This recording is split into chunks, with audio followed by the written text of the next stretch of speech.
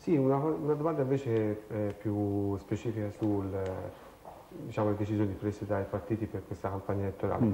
Il centro-sinistra va alle primarie, in alcuni casi sembrano molto scontate, in alcuni casi come Follonica sembrano molto meno scontate.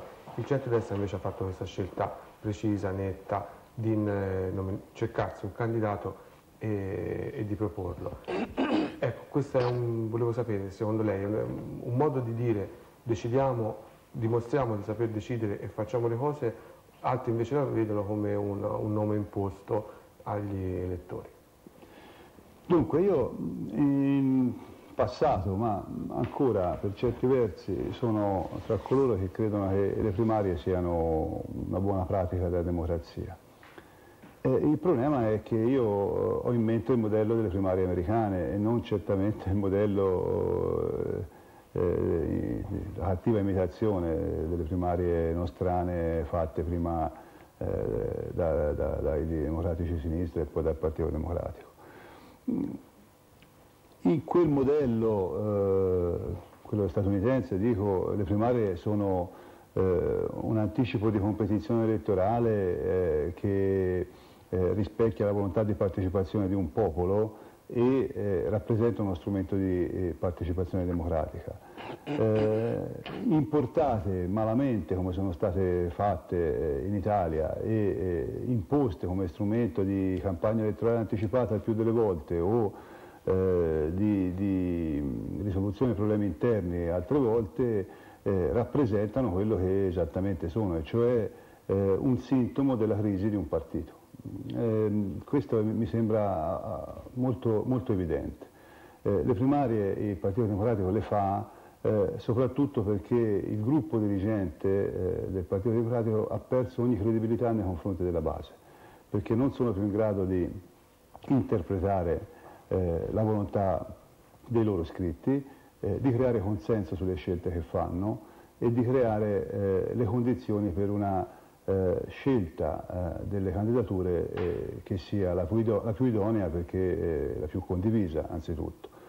Eh, questo nel popolo di libertà non accade. Mm, per eh, una ragione che è genetica, il popolo di libertà è un partito che nasce prima eh, fra la gente, fra gli elettori e poi dopo tra eh, i gruppi dirigenti, è esattamente il contrario di quello che è stato il Partito Democratico, che è fusione di nomenclature anzitutto, mentre il Popolo di Libertà è innanzitutto interpretazione di una volontà popolare.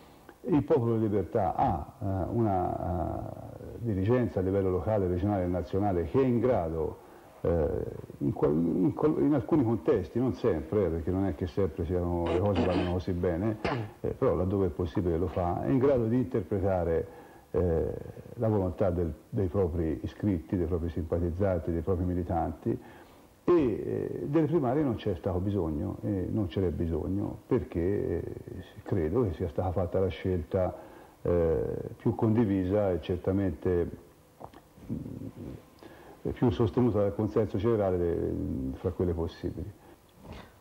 Lei è partito molto ottimista, nel senso che ha parlato di spirito del 97, quindi ha ricordato un anno eh, di vittoria, quindi un, se, se quest'anno si respira lo spirito del 97 lei parte ottimista nel senso che dice eh, sicuramente ci sono buone chance. Eh, una domanda molto brutale, però eh, l'obiettivo è il ballottaggio o la vittoria al primo turno? No, vinciamo al primo turno. Sicuro? Ma sì. Ma Voi sì. che ne pensate? Io penso che sarà una bella battaglia, sicuramente una gran bella battaglia. Una battaglia in cui i due candidati si giocheranno ogni singolo voto, ma veramente ogni, ogni singolo voto.